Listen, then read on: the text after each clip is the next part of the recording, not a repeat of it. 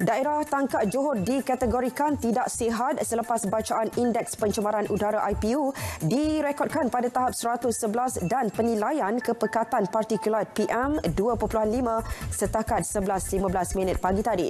Susulan itu, pihak sekolah dan ibu bapa di daerah berkenaan dinasihat sentiasa memantau keadaan murid khususnya calon ujian penilaian sekolah rendah UPSR. Esko Kerajaan Tempatan Kesejahteraan Bandar dan Alam Sekitar Johor, Tan Chen Chun dalam kenyataannya turut menasihatkan orang ramai memakai penutup hidung dan mulut sekiranya berada di luar rumah bagi mengelak masalah pernafasan. Semua pihak dilarang melakukan pembakaran terbuka dan tindakan tegas akan diambil terhadap mereka yang terlibat.